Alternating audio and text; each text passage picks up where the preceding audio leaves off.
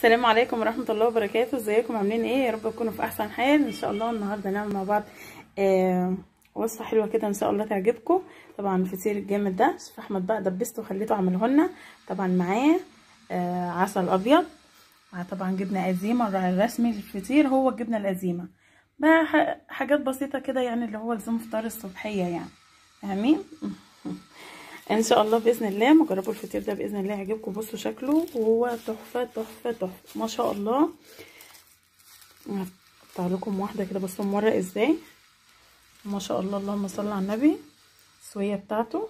هو كله ما شاء الله تحفة. انت بتعمليه خلي بالك من درجة حرارة الفرن ودايما تكوني متابعة الفرن بتاعك عشان الفران مش زي بعضيها. آه يلا بينا بقى نشوف الوصفة بإذن الله تعجبكم.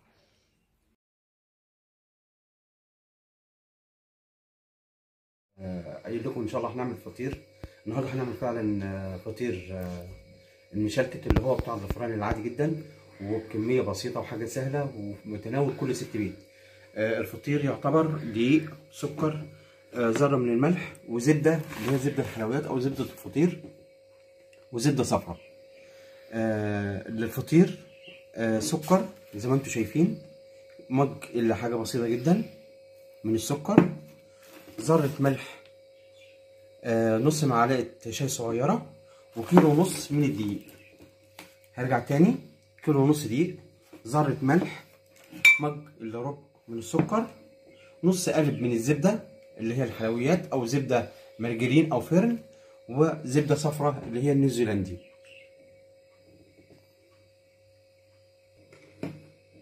هبتدي أحط بقى الكمية كلها بتاعتي. أهي حطيت السكر.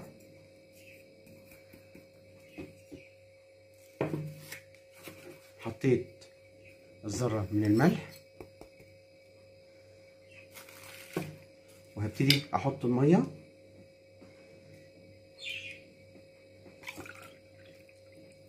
والمية على حسب طلب العجينة اللي قدامنا.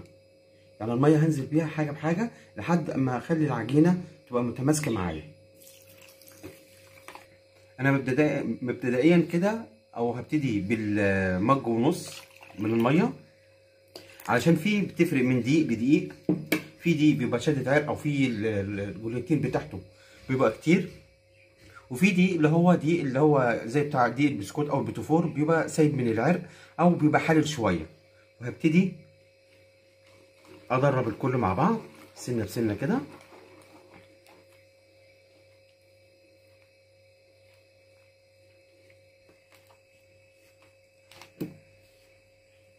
هبتدي بقى طبعا باخد الدقيق من الجناب أهو علشان خاطر ندخله مع المية اللي أنا حاططها في النص الدقيق اهي آه البوله أهم حاجة تكون واسعة وتكون ستانلس أو بقى طبق بلاستيك كبير ايا كان الحاجة اللي عندك كبيرة بحيث إن أنت تعرفي تعجني فيها.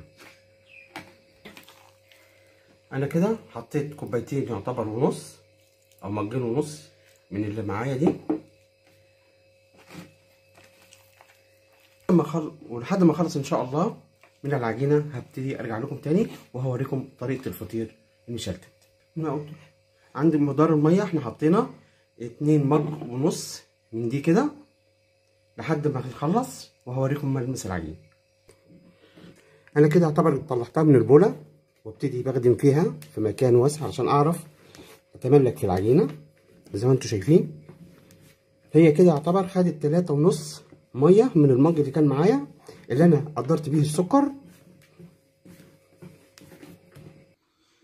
كده إحنا يعتبر خلصنا العجينة خدمه زي ما أنتم شايفين أهي. العجينة اتخدمت كويس جدا. هنسيبها لمدة بالظبط خمس دقايق تريح. وبعد كده هنشتغل فيها وهوريكم شغلها إزاي. هي يعتبر كده اتخدت عجين معايا أو خدمه عجين معايا بالظبط ربع ساعة. لحد ما تبقى الملمس بالشكل ده كده.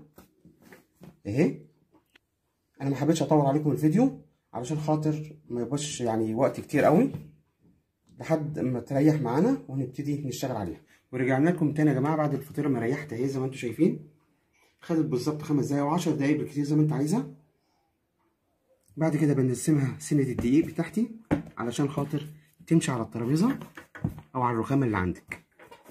اهي العجينة ابتدت تتماسك معايا ومريحه جامده وهبتدي هفرد فيها. ومش عايزين برضو إيه يعني نزود في تريحها جامد علشان خاطر العجينة اما بتريح أكتر من اللازم بتعيش معاكي بسرعة. أنا بفردها اهو.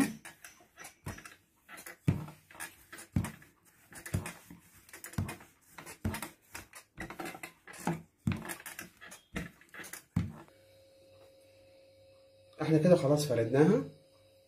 وهبتدي أحط الزبدة بتاعتي. اهي.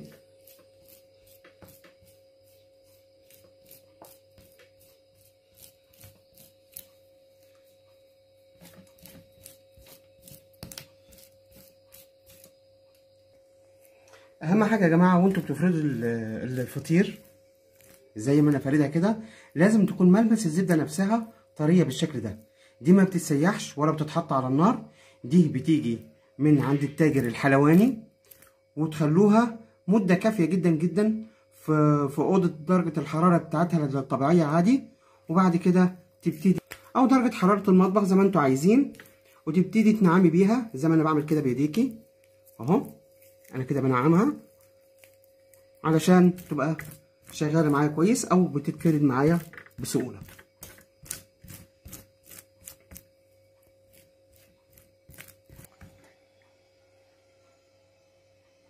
خلاص إحنا كده يعتبر خلصناها. وهبتدي ألف بيها أو هلفها كرول هبتدي ألفها بقى.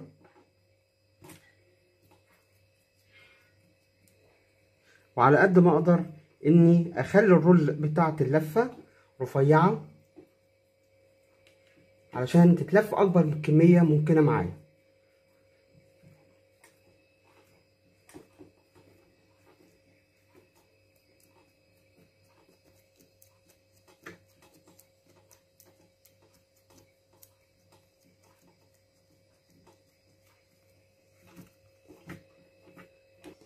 أنا كده خلاص لفيتها واديها سنة زيت بسيطة جدا فوق الوش عشان ما تنشفش معايا العجينة. زي ما أنتم شايفينها أهي. وهبتدي أقطع فيها. الحاجة المناسبة في التقطيع بتاعتك زي ما انت عايزاها. عايزاها تكبريها عايزاها تصغريها على حسب حجم الصينية أو الصاج اللي موجود مع حضرتك. هبتدي أقطعها. أدي التوريقة بتاعت العجينة. أهي. حاجة جميلة جدا.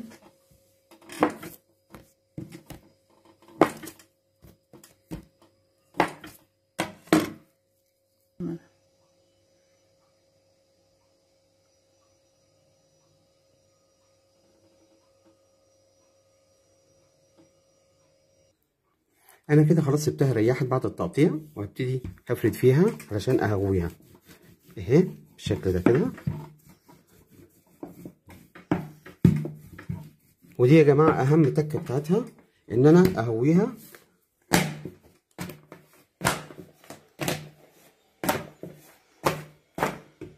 وابتدي لو في حتة زيادة عندك ممكن نبقى نكمل عليها العجينه ونلفها بالشكل ده كده. ونركنها ونجيب التانية.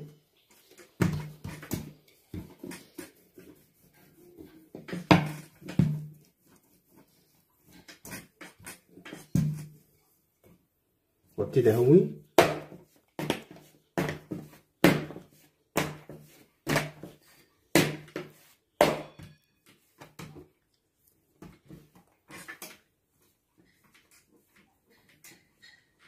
وده فطير المحلات اللي إحنا دايما بنشتريه. كمية بسيطة جدا. عملت معانا توفير بست فطاير كيلو ونص الدقيق. لكن انت بتعمليها بايديكي وحاجة أنت ضمناها. وحاجة طبعا نظيفة. مش هتحتاجي أو تشكي في المحلات بعد كده تاني. اهي التهوية بمسك إيديا صباع اليمين أو إيديا اليمين الصباع ده بيبقى من فوق وأربع صوابع دول بيبقى من تحت زي ما أنتم شايفين كده وأبتدي أهوي فيها. اهي وأطبقها اهرماوي أو مثلثات. بعد كده ألفها. بالشكل ده كده. تاني يدوب سنة زيت بسيطة جدا علشان العجينة ما تلزقش معايا.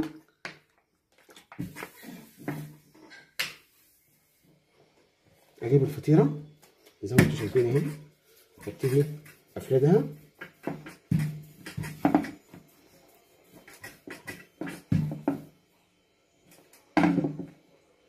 أبتدي بقى أهوش كده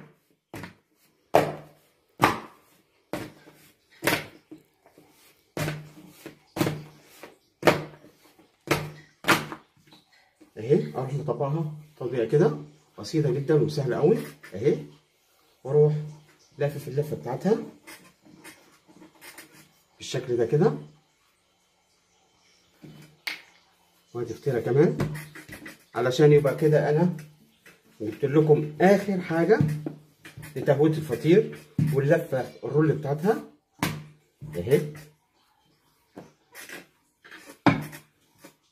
لو مش هتعرفوا تهويها زي ما أنا بهويها انت ممكن تستكفي ان انت تفرديها وتطبقيها عادي. اهي كده؟ بالشكل ده؟ لو مش هتعرفوا تهووا الفطير.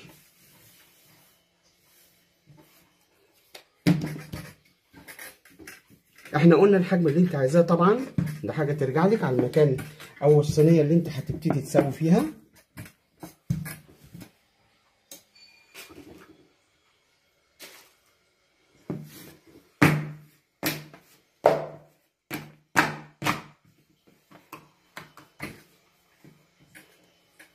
وكده يا جماعة يعتبر خلصنا لف الفطير. بنسيبه يريح بنديله سنة الزيت من فوق الوش. نديها شوية زيت كده من فوق الوش علشان خاطر العجينة ما تقشفش معايا. ونغطيها بأي مشمع أو شنطة بلاستيك لمدة بالظبط لا تقل عن 10 دقايق عشان نعرف نفرد في الفطيرة. كده رجعت لكم تاني والفطيرة خلاص ريحت معايا. وهبتدي أفرد فيها زي ما أنتم شايفين كده. اهي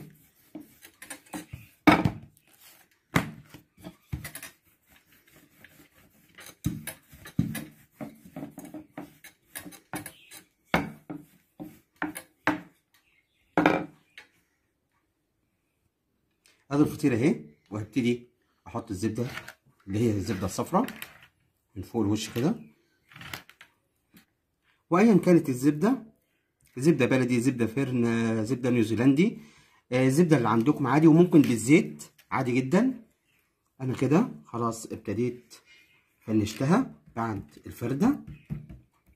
دي آخر فردة يعتبر قبل التسوية.